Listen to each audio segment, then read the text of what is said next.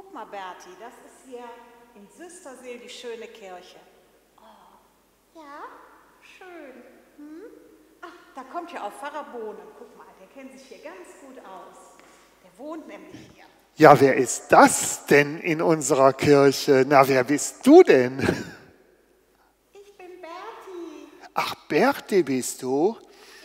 Ich bin sieben Jahre der zweiten Klasse schon. Oh, da bist du ja schon groß, ne? Und warst du schon mal hier in der Kirche? Nee, hier war ich noch nie. Wo kommst du denn her?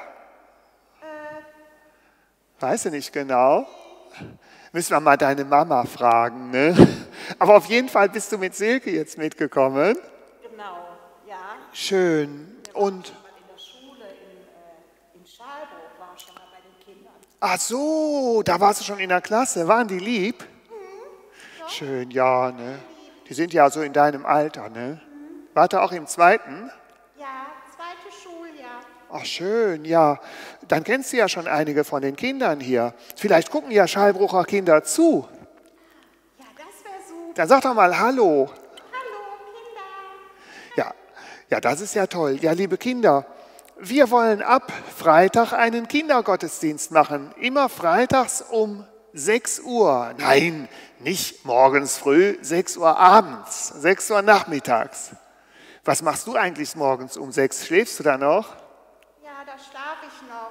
Aber Hat- wenn ich zur Schule muss, dann muss ich auch schon früh auf. Ja, aber Im Moment darf ich nicht zur Schule. jetzt brauchst du ja nicht, ne? Aber dann hat deine Mutter es gut, wenn du um 6 Uhr noch schläfst, ne?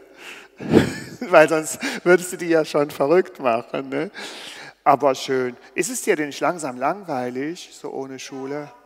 Ich bin schon ein bisschen traurig, dass ich meine, meine Schulfreunde gar nicht mehr sehe und meine Lehrerin und dass ich auch nicht auf dem Spielplatz spielen kann und mit meinen Schulfreunden spielen kann. Aber weißt du, was ich jetzt ganz toll finde? Dass alle deine Schulfreunde dich im Fernsehen sehen können. Du warst doch wohl noch nie im Fernsehen, oder warst du schon mal im Fernsehen? Nee, ich war noch nie im Fernsehen. Ja, cool. Bin aufgeregt. Ja, dann grüßen wir jetzt nochmal alle Freunde, alle Kinder aus dem Selfkant und natürlich auch aus anderen Orten.